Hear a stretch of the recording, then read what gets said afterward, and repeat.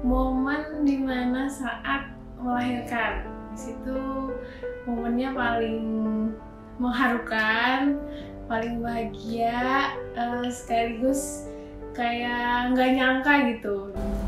Momen bahagia uh, sebagai seorang ibu adalah melihat tumbuh kembang anak.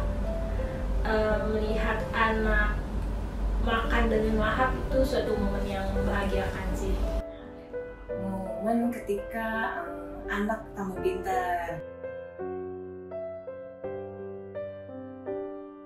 bangga banget karena uh, kita nggak nyangka gitu bisa ada di titik ini menjadi seorang ibu. Bahagia banget.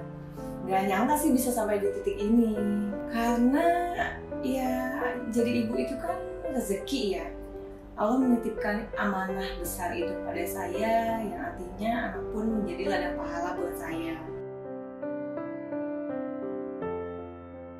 Sebenarnya berat ya rasanya berat banget tapi di satu sisi saya mengajarkan anak untuk lebih mandiri. Pasti setiap harinya ada kayak dramanya ya.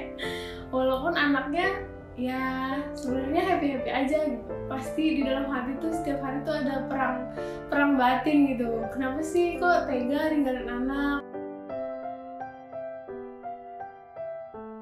Karena hal ini uh, sebenarnya agak sedih ya. Jadi anak itu kan dia itu uh, pemaaf ya.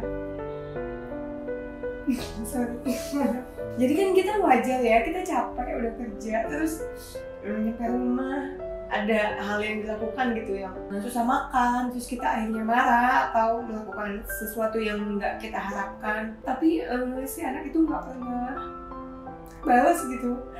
Artinya dia bisa ceria lagi dan nggak uh, mengurangi rasa sayang si anak kepada ibu sedikit pun gitu. Dia belum terlalu paham tapi kadang-kadang kita kalau lagi capek kita bisa emosi ke anak kan aku kan bukan ibu yang sempurna gitu. Pasti ada salahnya apalagi ini anak yang pertama gitu. Jadi belum punya pengalaman. Waktu pertama kali ngegendong gitu. Itu kan kita nggak tahu gimana gitu caranya. Apa salah? Apa dianya sakit? Takutnya tuh dia merasa gak nyaman atau gimana kayak gitu. Jadilah anak yang kuat. Maafin mami kalau mami selama ini tuh kurang perhatian ataupun suka marah sama kamu di balik itu mami tuh segala sesuatunya tuh untuk kamu. Nggak ada satupun kepikiran mami ninggalin kamu. Suatu hari kamu mimpi sampai sesebukan nangis bangun mami tanya kamu kenapa? Mimpi apa? Mimpi buat apa? Ternyata di mimpi kamu itu kamu takut ditinggal mami. Mami ninggalin kamu nggak mami nggak akan ninggalin kamu sampai kapan pun. Mami bakal selalu ada di samping kamu sampai kamu dewasa besar.